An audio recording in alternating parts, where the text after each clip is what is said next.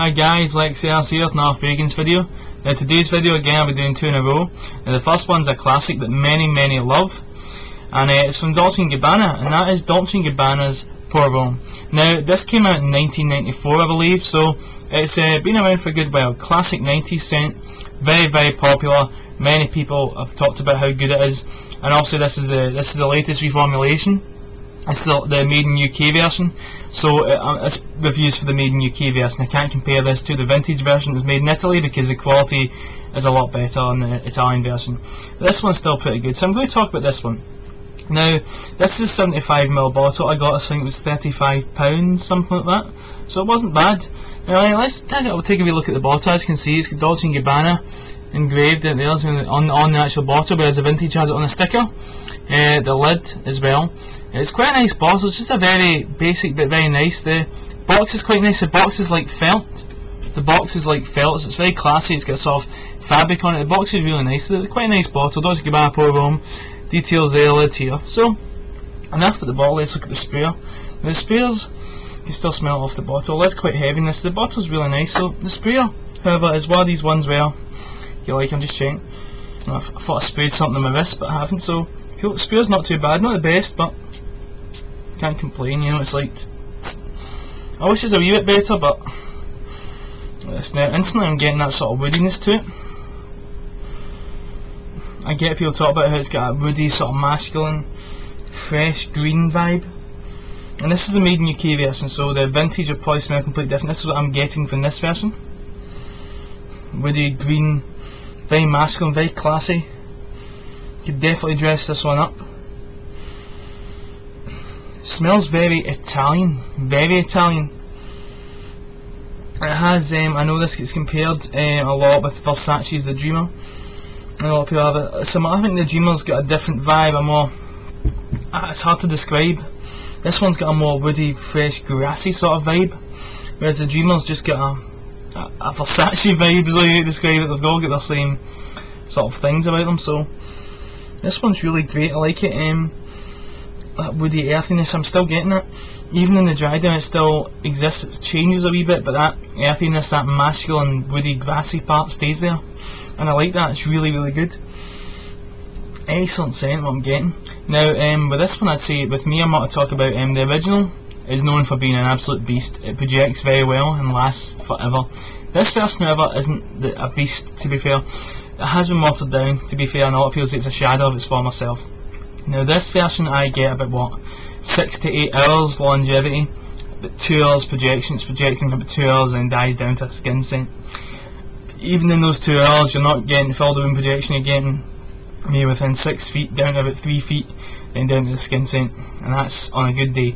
Um, wouldn't really recommend this version as a winter scent, you could pull it off if you apply more sprays, uh, this I'd recommend 5 sprays, maybe 6, maybe.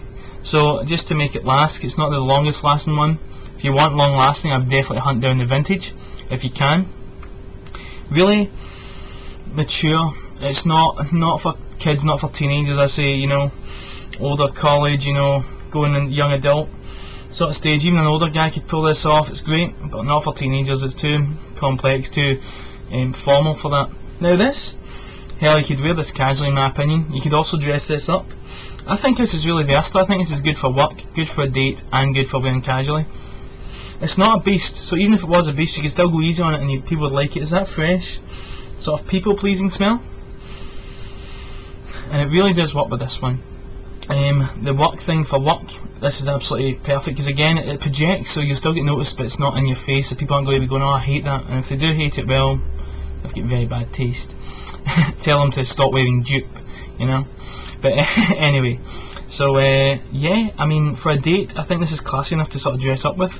The woodiness, the masculine part of it there, it's really nice. So it's classy enough to dress up with. You can go about, go to McDonald's, you know, jeans and t-shirt, casual wear with this.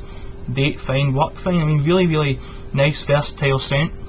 Um, a lot of people don't like the made in UK version. I think this one's pretty good, and it does last if you apply a bit more sprays. Um, honestly, I've went 10 sprays once with this and it lasted fairly well on me, but that's just me. So, but um, yeah, um, do give it a, a, shout out. It's not as good as it used to be. I've, I've still to buy. I also want to buy light blue. Of people saying you should get the women's version, but I'm going to buy the men's. um, just because I want to sort of compare it to Old Fresh. Um, so this is the one, my first Dolce & Gabbana, the only one I have at the moment.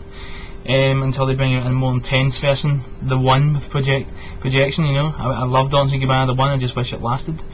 But yeah, this one I think's great. Do pick it up. Um, give it a sniff first. You might not like it, but yeah. Um, I'm hoping to get my hands on light blue as well. But this one, the original one from 1994, is a classic. Yeah, really, it's a shame Procter & Gamble have kind of let, uh, ruined it a wee bit ruined it to what it used to be. It's still nice, but you know, we're talking about it used to be 10 out of 10, now it's about 7 out of 10. Still good, but not as good as it used to be.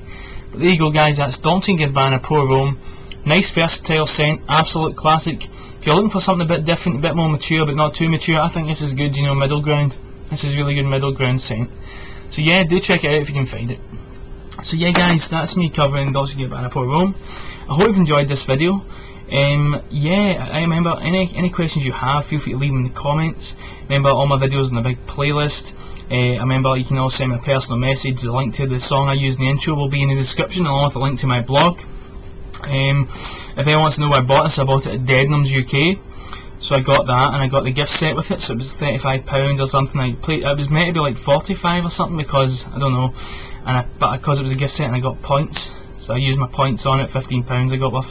So I got for like thirty-five pounds. So I was quite uh, quite chuffed with that. So yeah, not a bad scent at all. I wish I would love the vintage version. It's still good. I just wish it, the vintage version version's a beast, and I'd love that to be beastly. It's the sort of it's like the Dreamer. It, I really wish it was. The Dreamer's really really strong and beastly. There's hardly there's always projection longevity's off the scale. Really really good. Um, you can see the sort of vibe, it has the same sort of vibe to it as the Dreamer. I'm not saying they smell the same, I'm just saying they're from the same sort of family. You can get, if you put the Dreamer on this hand and this in this hand, you can get the sort of different vibes. It really, I mean that's starting to dry down now, and I'm getting that sort of Dreamer vibe to it. The sort of freshness, the woodiness is starting to just go away to the background, and the body's starting to come out. Really, really nice. Really good scent. I love wearing it around the house often as well. So yeah guys, do check it out, Dolce Gabbana Pour Homme. Anyhow, thank you for watching this video, hope you've enjoyed it, and remember if you like my videos and you want to see more, don't forget to subscribe, I'd really appreciate it. Thanks for watching guys, keep on smelling fly.